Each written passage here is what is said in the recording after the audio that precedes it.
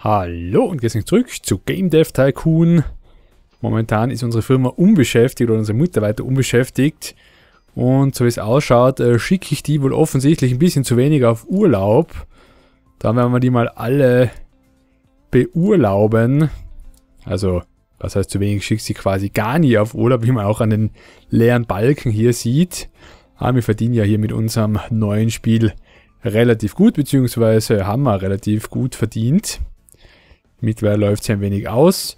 Ja, ist die Frage, was machen wir denn als nächstes? Ich habe letztes Mal sicher was beschlossen, weiß es aber nicht mehr, weil ich ein bisschen Pause gemacht habe. Wir können ja einfach mal schauen, was es noch zum Forschen gäbe. Ja, sonstige Kommentare, also ein bisschen über die Engine habt ihr ja geschrieben. Soundtrack, Cutscenes oder schauen wir mal, ob wir ein interessantes neues Genre, Cyberpunk, das interessiert mich wenn wir das mal erforschen. Ja, da habt ihr einiges kommentiert und was ich auch interessant finde, ist so ein bisschen, das ist zwar weniger auf meinem Kanal besprochen worden wie an anderen Stellen, so die Diskrepanz bei Game Dev Tycoon. Soll man jetzt da hinter die Kulissen blicken und sich durchs Wiki wühlen und alles ideal spielen und äh, sozusagen anhand der Zahlen verstehen oder soll man selber draufkommen? Ich bleibe beim selber draufkommen und im Wiki ist das auch schön beschrieben, da steht so ein Satz, wo es heißt, du hast äh, zwei Möglichkeiten. Das erste ist, äh, das Spiel zu spielen, wie es gedacht war, einfach Spaß haben. Und das zweite ist, ins Wiki zu schauen und sich die ganzen Algorithmen und Formeln rauszusuchen. Ab und zu schaue ich dann doch was nach, äh, beziehungsweise habe ich jetzt gerade wieder was nachgeschaut, weil ich es einfach nicht ganz verstanden habe oder weil ich mir denke, das ist etwas, was man einfach wissen sollte, damit man das Spiel ein bisschen besser versteht. Dazu aber gleich. Schauen wir mal vorher die Industry News. So, die Vena-Fans haben lange drauf gewartet. Endlich die Dreamvast angekündigt. Ein Sprecher der Firma meint, ein Traum wird wahr. Die wohl fortgeschrittenste Spielekonsole aller Zeiten. Ja, mächtige Grafik-Hardware, super Qualität, High-End PCs. Praktisch also ein, ein Rivale für High-End-PCs Modem sogar eingebaut, also Online-Spiele möglich, später im Jahr verfügbar. So, die waren jetzt alle auf Urlaub und wir haben Cyberpunk erforscht. Ja, 2 Millionen haben wir da verdient, nicht schlecht. Dann schauen wir gleich mal ein, äh, schauen wir mal, ein Publishing Deal. Was gäb's denn so? Fashion, hm, Sports Action für die Master Wii, für den TS, Main Oasis, also da haben wir nur Deals, die wir nicht machen können. Oder eben Fashion für DJQ, für irgendeine Plattform, sollen wir Fashion noch erforschen. Sollen wir das noch erforschen? Erforschen wir noch schnell Fashion oder machen wir was anderes? Sollen wir wieder einmal ein Sequel machen? Ein Sequel zu irgendeinem, was heißt wieder mal, haben wir ja gerade letztlich, aber zu irgendeinem alten Titel nicht zu alt. Basic Quest war ja, glaube ich, auch nicht so schlecht. Ein Fantasy Adventure. Das wäre eigentlich interessant. Wann haben wir das letzte Mal Fantasy Adventure gemacht? Mal schauen, das war Science Fiction Rollenspiel, Aliens Action, Time Travel Adventure nicht so gut angekommen. Ja, dann warum nicht? Machen wir doch ein Sequel zu Basic Quest. Ist eh schon lange her, dass wir das gemacht haben. Und das wird dann entsprechend Advanced Quest. Für jedermann sollte man es da trauen, in Eigenregie schon ein Medium-Game machen bei 100.000 Fans. Ja, trauen wir uns das doch, oder? Ein... Moment. Was war das? War das war das überhaupt ein Fantasy-Adventure? Jetzt habe ich gar nicht geschaut. Das sollte man vielleicht schauen. Wäre eventuell nicht schlecht. Das wäre eventuell nicht schlecht. So. Also, nochmal zurück, zurück, zurück, zurück. Äh, Basic Quest, ein Fantasy Adventure. Doch, hat schon gepasst. Okay. Also Sequel.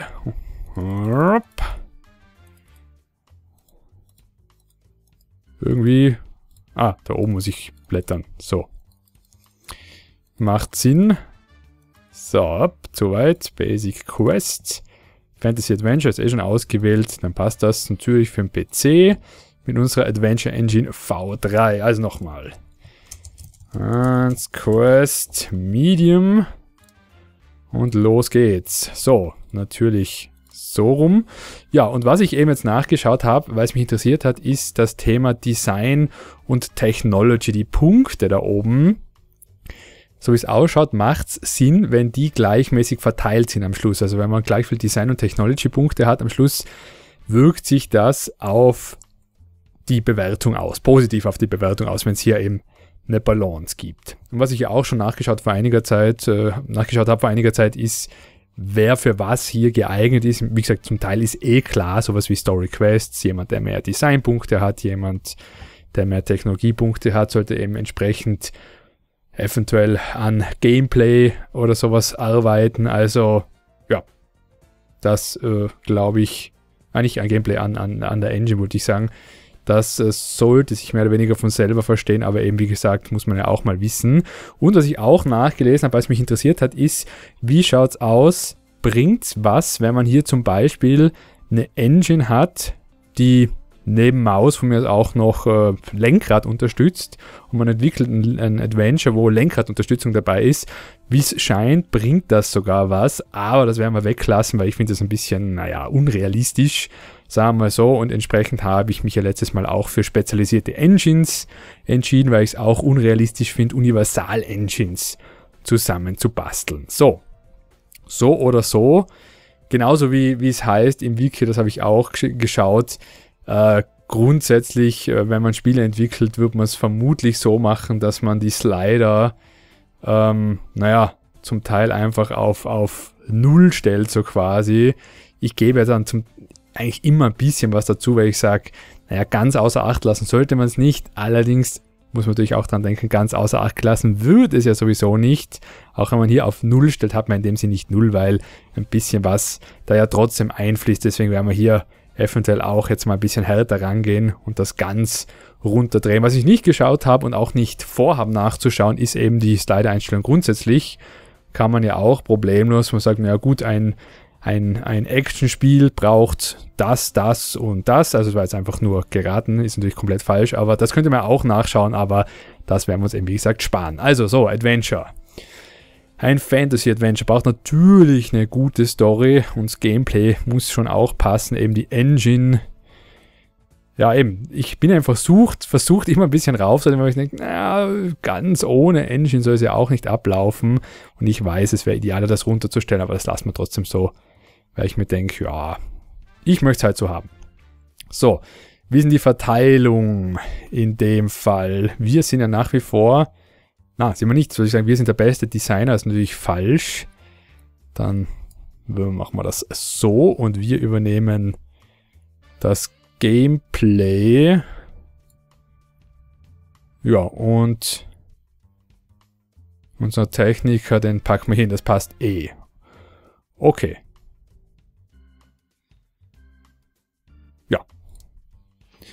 Also, Eben, und je nachdem jetzt, wo man die Slider hindreht, bekommt man eben mehr Design oder mehr Technology-Punkte. Und hier in dem Fall sind wir natürlich bei Design jetzt weit voraus und es würde sich eben, so wie ich das verstanden habe, empfehlen, in den, jetzt habe ich ganz vergessen, die Features auszuwählen.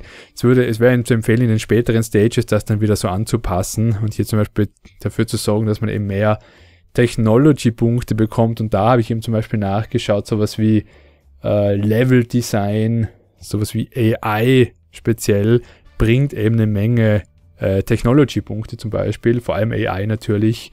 Äh, Dialoge wiederum bringt viele Design-Punkte und eben da sollte man auch schauen, dass man ein bisschen die Balance halten. Darum werden wir es so machen, hohen Wert auf Level-Design legen, dass wir hier auch ein paar Punkte rauskitzeln, wobei ein Adventure einfach meiner Meinung nach mehr Design wie Technologie haben sollte, so oder so. So, dann Dialoge. Bei Dialogen, das ich jetzt nochmal zusammenbringen. Dialoge war Design. Der ist aber schon ausgelastet, dann machen wir das. Und Level Design.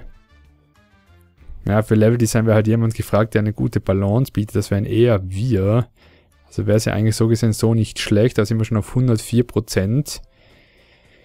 Hm, naja, nützt nichts. Dann werden wir mal hier den Dennis ranlassen und wir kümmern uns um das hier. Dann verteilen wir es mal so. Level-Dieter braucht man keinen. Künstliche Intelligenz, also das war auch so etwas, wo ich sage, eigentlich sollte man es weglassen bei, einer, bei einem Adventure, aber wir haben es dabei in der Engine, also nehmen wir es ruhig mit. Level Editor bei einem Adventure gibt es, wenn es nach mir geht, keinen. So. Ja, und jetzt arbeiten sie auch wieder fleißig. Hype hätten wir auch, da könnte man natürlich jetzt ein bisschen nachhelfen und äh, Marketing machen. Eventuell hier ähm, auch Demos rausgeben. Oder sogar eine Marketingkampagne. Na, gehen wir mal. Magazin, Inserate und Demos, dann können wir ein bisschen den Hype fördern. So, und wie schaut es jetzt aus? Stage 3. Um, Open World für ein Adventure. Ja, ja, warum nicht?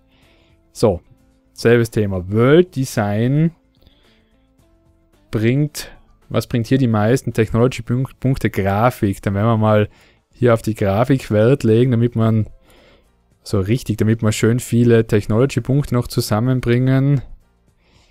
Ähm, ah, das wollte ich mir auch nochmal anschauen, das habe ich ganz vergessen, was die Prozent hier bedeuten, weil ja je nachdem, ich glaube, da muss man einfach eine gewisse Menge investieren, dass der Sound passt, sozusagen, wenn man da drunter liegt, dann wird der Sound irgendwie zu schlecht, so verstehe ich das zumindest. Ich hoffe, das ist richtig.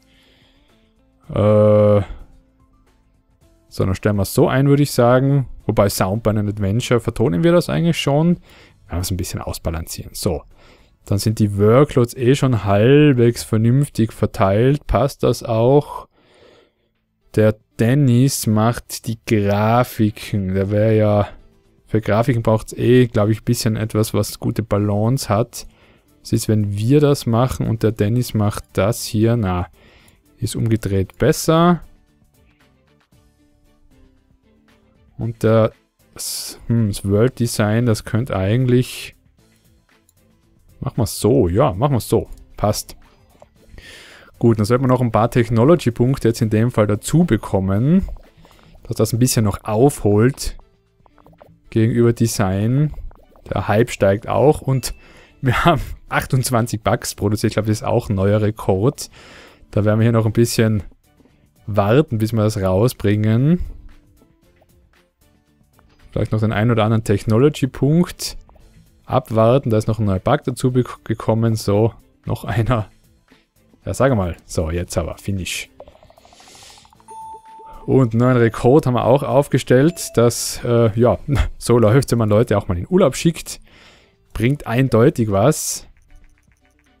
Und der Dennis bekommt ein bisschen mehr Kohle. So, Minigames können wir jetzt auch erforschen.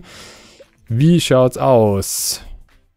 Ein klarer Trend zu Casual Games. Das wäre momentan angesagt.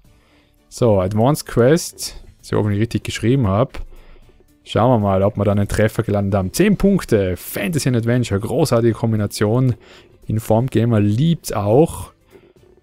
Game Hero will mehr haben und ein neuer Favorite, ein neuer Favorit für All Games, also ein super Sequel haben wir da gemacht und Eigenverlag noch dazu, mal schauen, was da rauskommt an Geld. Wir werden aber gleich, bevor es hier weitergeht, mal schauen, gäbe es ein Casual Game ähm, Publisher Deal. Zumindest auf keiner Plattform, die ich machen will. Das ist immer noch Fashion. Haben wir Casual eigentlich überhaupt schon? Ist die Frage. Ähm, wieso sehe ich das? Jetzt bin ich gerade blind. Also ich habe mich nicht direkt angeklickt. So, New Topic. Also Casual ist ja... Moment, das ist... Jetzt bringe ich es gerade durcheinander. War Casual jetzt hier irgendwo zum Erforschen? Ah, ich glaube, das haben wir schon. Jetzt kenne ich mich gerade gar nicht aus. Kleinen Moment. Topic. Ähm, Genre. Ah, ein Genre. Okay, alles klar. Gut. Na, sollen wir einfach ein neues rausbringen? Sollen wir einfach ein Casual Game programmieren? Ein kleines. Na, eigentlich, warum nicht ein Medium? Medium Casual Game.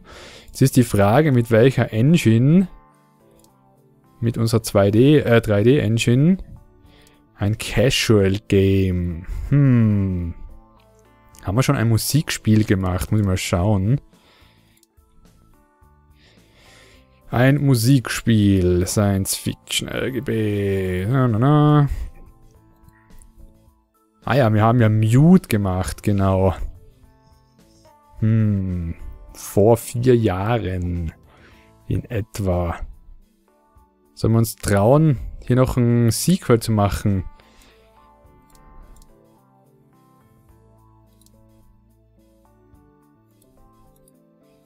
Sollen wir uns das trauen? Noch ein Spiel, ein allerletztes Spiel für den Gameling vielleicht. Oder natürlich für eine andere Plattform. Fürs Playsystem vielleicht. Man hat immer noch 17,7% Marktanteil, das ist eigentlich sehr, sehr viel. Na dann gibt es natürlich ein Music Casual für ein Gameling, für Junge. Machen wir es diesmal für alle. Und zwar mit der Adventure Engine, weil ich möchte eher ein 2D-Ding machen für ein Gameling natürlich. 300.000 kostet uns das, aber das passt schon. Medium, ja, ja, komm, passt schon. Aus rein Spaß an der Freude. Los geht's. Und äh, unser neues Spiel verkauft sich mittlerweile sehr gut, so wie es ausschaut. Also, ein Musikspiel dass wir gerade mit unserer Adventure Engine für den PC entwickeln, fällt mir ein, auch eigentlich Blödsinn, aber egal. Machen wir eine lineare Story. Safe Games ja, Maus lassen wir weg. Charakterentwicklung, warum nicht? Ist es zwar kompletter Blödsinn, eigentlich sowas zu entwickeln, aber egal. Ähm, so, Engine. Na, Gameplay muss gut sein, Engine sollte auch gut sein, aber Story und Quest kommen ein bisschen in den Hintergrund. So, verteilen wir es so. Ich glaube, die Zuweisung von den Leuten sollte hoffentlich noch passen, oder? Kontrollieren wir es nochmal schnell. Engine ist ja Techniker gefragt. Ja, ich glaube, das passt noch. Gameplay ein bisschen. Das übernehmen wir. Ja, ja, das sollte passen. Man kostet uns jetzt zwar eine Menge, das zu entwickeln. Ich glaube, wird nicht allzu viel bringen, aber trotzdem probieren wir es mal. Ja, wer kein Fan von uns ist, der sollte unbedingt sich mal unser neues Adventure anschauen, wie es hier heißt. Hm, werden wir sogar vermutlich einen Preis dafür gewinnen. Das wäre natürlich schön. So, die Game Convention. Ich glaube, da trauen wir uns jetzt mal mit einem mittleren wieder hin. Da haben wir eine schöne Balance im Moment noch. Das gefällt mir gut. So, Stage 2, einen Level-Editor. Warum eigentlich nicht? Und da lassen wir den weg. Einfach so, weil ich denke, dass, na, wobei, Dialogbaum. Doch, doch. Äh, aber Dialoge brauchen wir nicht ganz so viel. Künstliche Intelligenz, ja, aber hohes Level-Design würde ich in dem Fall sagen. Machen wir es so. Verteilung passt eh noch relativ gut, wobei Level-Design macht es der Dennis. Ich glaube, das machen... Na, es passt eh. Das passt schon. Wohl, das passt. Sollte sich nach wie vor halbwegs gut verteilen. Mehr als 100.000 Fans. Ja, eben ab jetzt wäre quasi Self-Publishing von Medium Games angesagt, aber machen wir ja schon. So, was bekommen wir hier für eine Nachricht? Ähm, für 162.000. If you want to play Wargames. Oh, da wird Sabotage verübt, aber das lassen wir, haben wir gesagt, alles weg. So, sehr schön. Immer noch gute Balance. Jetzt, ähm, ja, da muss man natürlich Vollgas geben bei Sound, keine freie Grafiken und World Design so in der Balance lassen. Das muss jetzt aber jemand anderer übernehmen, würde ich sagen. Wer mag denn, man, was braucht natürlich auch Technology für Sound, aber das verteilen wir jetzt mal so, würde ich sagen. Äh, Open World. Lass mal weg. Oder? Musikspiel mit Open World. Na, warum eigentlich nicht? Klingt interessant. Ah ja, und da ist jetzt Grafiken, genau 81%. Da braucht es eben oft, ich glaube halt zumindest, dass das heißt, dass es das heißt, man braucht hier ein bisschen mehr sozusagen. Jetzt mal schauen, was ist, wenn wir da jetzt jemand anderen wählen würden. Das macht gerade der Dennis. Einfach mal rumprobieren.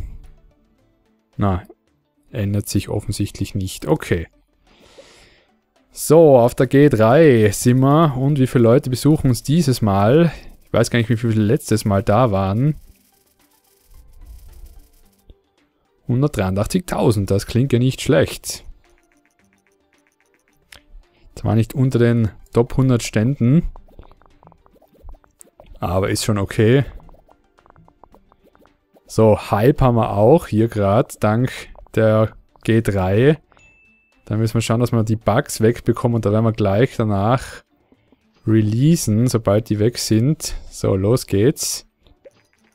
70, 59, das geht eh. So, Dreamvast ist raus. Da ist die Frage, sollen wir für die vielleicht was entwickeln? Natürlich kein neuer Rekord jetzt, aber trotzdem. So, da gibt's eine Gehaltserhöhung. Oh, super neue Forschungsthemen. Physik, Mod-Support, äh, Vollbild-Videos, äh, Full-Motion-Videos, also was sind Full-Motion-Videos? Sind das, gute Frage, gerenderte Videos, keine Ahnung. Und eine neue Version von den 2D-Grafiken, da werden wir gleich ein bisschen researchen. Und zwar haben wir 130 Punkte. Was wollen wir denn haben? Das klingt interessant. Da könnte man uns dann eine Engine bauen für Wirtschaftssimulationen. Die neuen 2D-Grafiken verschieben ein bisschen Mod-Support. Sehr interessant. Und für unsere nächste 3D-Engine Physik. Und was erforschen wir noch? Minigames. Kann man nicht mehr. Easter Eggs. So, schauen wir mal. Unmute. Oh, das schaut gut aus. Jeder liebt es. Da haben wir... Wow. 10 Punkte nochmal, das wird ja neu. Wow, okay, truly great. Oh, nur 9 von All Games, die hassen das Spiel offensichtlich. Ja. Super, Wahnsinn. Es ist nur die Frage, ob wir es richtig ausgerichtet haben und ob wir auch so viel verkaufen, dass es sich lohnt. Ähm, ja, da eben. Ah na, Moment. Ähm, das neueste Spiel in der Serie ja, hat super Resonanz bekommen und die Kritiker freuen sich darüber, dass wir eine neue Engine verwendet haben. Eine wahre Innovation. Unsere Adventure Engine, offensichtlich für Musikspiele, sehr gut geeignet. Das freut natürlich und verkauft sich sehr, sehr gut. 4 Millionen haben wir mit Advanced Quest verdient, auch super.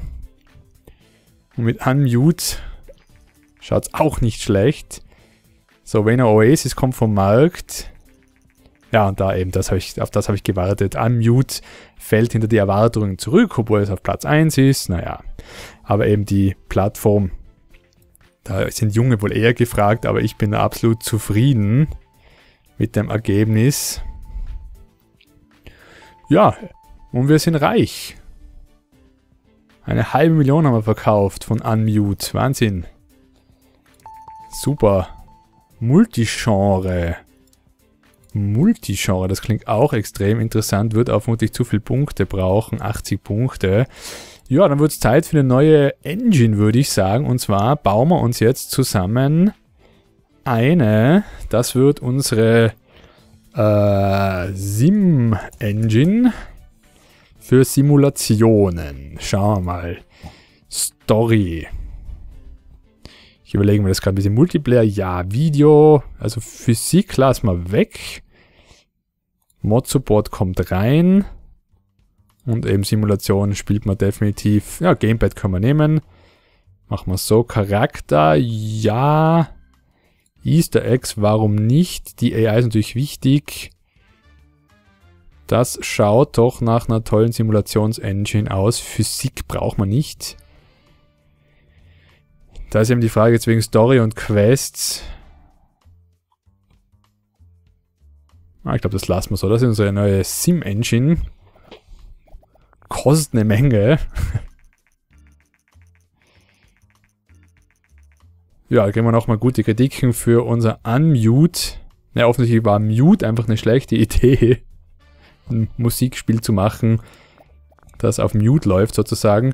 Ja, dann machen wir an der Stelle einen kurzen Schnitt, läuft ja richtig gut. Mal schauen. Wow, schaut sich das an. Da verkaufen wir fast eine Million von dem. Unglaublich. Und wir bekommen eine Menge Fans dazu. Ja, und als nächstes gibt es dann eine Wii-Sim, würde ich sagen. Freue ich mich schon drauf. Und ich wünsche alles Liebe, alles Gute. Bis zum nächsten Mal. Tschüss, ciao, vielen Dank. Und Baba.